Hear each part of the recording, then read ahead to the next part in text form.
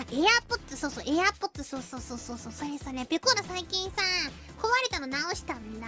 ペコーラよく物壊してない。え、なんかさ、ペコーラ別にさ、ガサツとかじゃないよ、そんな。え、でもなんかね、触れてしまうものみんな傷つけてしまうの。シザーハンズかのように。破壊神ペコーラ。B 型のイメージ悪くするのやめて。いや、今 B 型関係ねえペコでしょ。いや、B 型、ペコーラは血液型で何型が一番好きって言われたら B 型って言うよ。申し訳ないけど。いや、A 型の人も O 型の人も AB 型の人も好きペコだけど、自分の B 型嫌いじゃない、全然好き。で、B 型でよかったって思うペコーラは。ペコーラ自分のこと好きペコだし。いやでもわかる自分、ペコーラはね、でも思う。なんか、自分が、自分がもう一人いるとして、それが、その異性としてもし現れましたとか、だからペコーとして現れたら好きかって言われたら好きじゃない。絶対に自分とは付き合いたくない。マジで。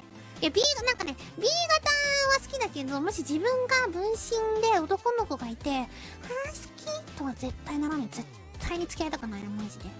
それだけはすごいわかる。いや、自分のこと好きだけど、嫌だ。いや、マジね、気分屋なところすごいあるペコだし、こだわり強い時もあるし、ペコ攻略ヒントいやでもペコーラめんどくさいと思うな。言い寄られるとね、引く、引いちゃうのなんか、ああって。最初からじゃあ自分たちも行かなくていいのかってなったら、それはちょっと違うんだよなって。ちょっとめんどくさい。え、じゃあペコちゃん興味ないって言えばいいのって言われて、なんか興味ないって言われたら、あっそってなる。めんどくさいタイプ。あ、そっか、興味ないんだ。じゃあペコラも別に興味ないわ。だから難しいんだよね、そのペコラの塩梅って。なんかマジで。どうしたらいいや？いや、そうだ、本当にめんどくさいと思う。そのいい塩梅で来てほしい。いい塩梅で。